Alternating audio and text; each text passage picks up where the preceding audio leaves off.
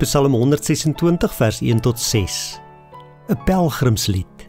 Toe die Here die lot van Sion verander het, was dit vir ons soos 'n droom. Ons het gelag en gesing. Onder die nasies het hulle gesê, "Die Here het groot dinge aan hierdie mense gedoen."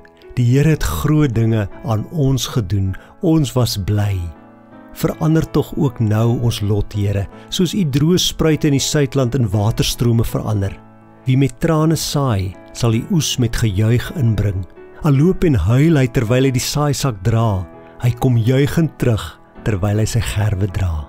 Hierdie is 'n kort maar so kragtige psalm. Die psalmdigter sê ons het gelag, ons het gesing, ons was so bly, ons het letterlik gedans van vreugde die dag toe die Here ons lot verander het.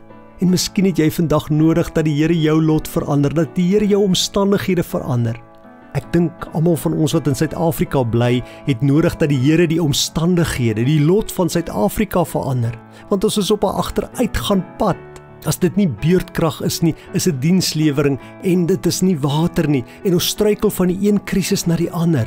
En ons moet ook vandag bid. Verander tog ook nou ons lot, Here, soos wat U droë spruite in die suidlaat in waterstrome verander, verander ons lot asseblief. En dan kom sê die Here en kom herinner die Psalm ons: Wie met trane saai, sal die oes met gejuig inbring. Al loop en huil jy terwyl jy jou hand in die saaisak steek en die saad oor die grond gooi. Wanneer jy die gerwe dra, wanneer die oes inkom, gaan jy juig en jubel, gaan jy bly wees. Miskien huil jy vandag. Miskien is jy so te neergedruk, so teen die grond, so moedeloos.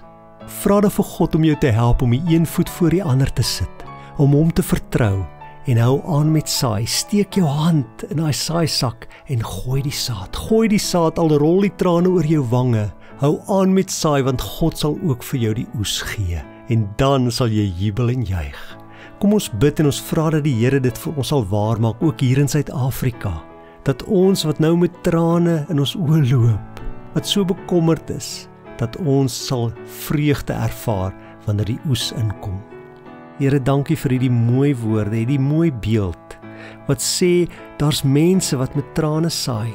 En ek weet daar's mense wat nou na hierdie boodskap luister wat trane in hulle hart het, trane op hulle wange het, wat se harte stikkend is, wat se lewens gebreek is en hulle weet nie watter kant toe nie.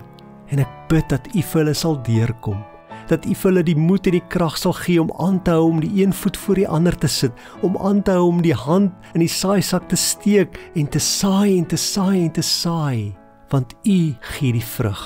U laat die saad ontkiem, U laat die saad groei en vrug dra. Gee vir ons 'n groot vrug ook hier in ons land, Here, hier waar ons dit so nodig het. Help vir ons om nie op te hou en moeg te raak om goed te doen nie, want ons weet op die bestemde tyd sal ons die vrugte daarvan pluk. Aan U kom toe die lof, die eer en die heerlikheid tot in alle ewigheid. Amen.